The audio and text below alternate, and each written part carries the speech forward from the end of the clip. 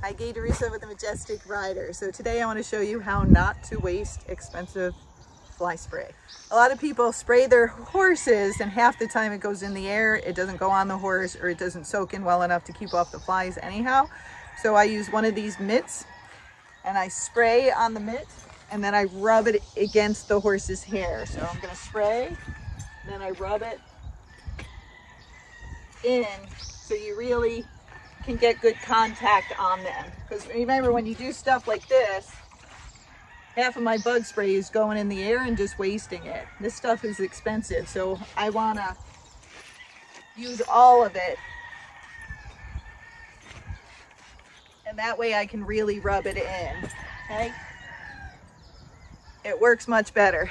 The other thing you'll read on some of the bug sprays, it says it lasts for three days or it lasts for 14 days. That's only if your horse doesn't sweat run around or roll and get the fly spray off. So with any of those fly sprays, at least with my horses, I have to fly spray them every day. And I fly spray them before I ride them. I fly spray them after I ride them because the fly spray comes off. So if you read that and your horse is out in the field, please go check them because half the time they're being eaten alive. And always check under their belly because there's these tiny little flies, at least we have them here in California, and they love to eat at their bellies, and they will make this whole area totally raw, and you don't know your horse is being eaten alive, and you know, you spray a little under there, and it really doesn't get under there. So make sure you do a good job and always look and make sure there's no sores bites or bugs that are hiding under there. Your horse will love you for it. They really do like fly spray because it makes them more comfortable. I also want to mention a lot of people when they send their horses in for training, they send a green kind of fly spray, you know, something organic, something without all these chemicals.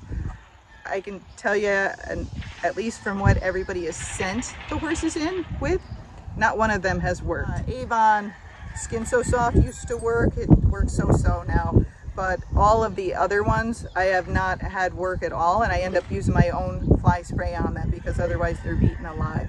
So check, if, if the, your fly spray works, when a fly lands on your horse, spray it. If it dies or it, you know, rolls off and then wobbles away, your fly spray probably works pretty well. But if you spray a fly and the fly looks at you and goes, ha ha ha, it's not working.